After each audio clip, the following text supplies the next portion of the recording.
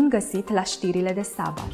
În perioada 27-30 mai, la Centrul Respiro din Moeciu a avut loc tabăra pentru familii defavorizate cu motoul Fii o minune.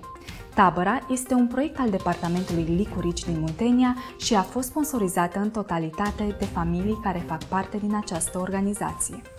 59 de persoane, părinți și copii, cu povești de viață impresionante, au avut parte de un program care i-a determinat să spună Îi mulțumim lui Dumnezeu, am trăit o minune.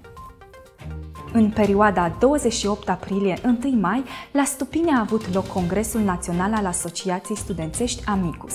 Motoul evenimentului a fost Renașterea începe cu mine, iar activitățile desfășurate au avut drept scop motivarea participanților pentru a lua inițiativă în societate.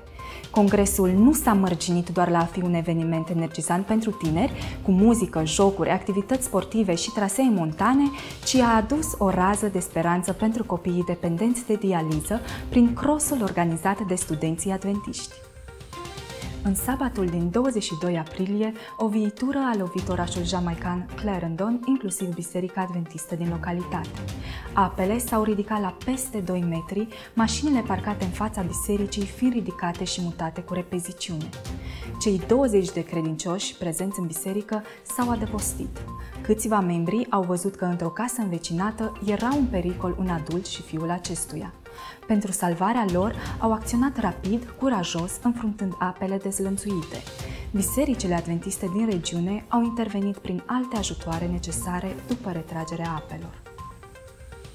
Sarah Saunders, o tânără adventistă, a înțeles faptul că pentru educația copiilor refugiați din Siria este nevoie să fie scrise manuale adaptate. Această idee a dus la dezvoltarea unui proiect de către Universitatea Adventistă din Orientul Mijlociu. Copiii sirieni suferă din lipsa hranei, locuințe distruse, servicii medicale precare și întreruperea cursurilor școlare. Cele cinci cărți scrise de studenții adventiști conțin povestiri adaptate copiilor care trăiesc în acest mediu, răspunzând astfel nevoilor educative ale acestora.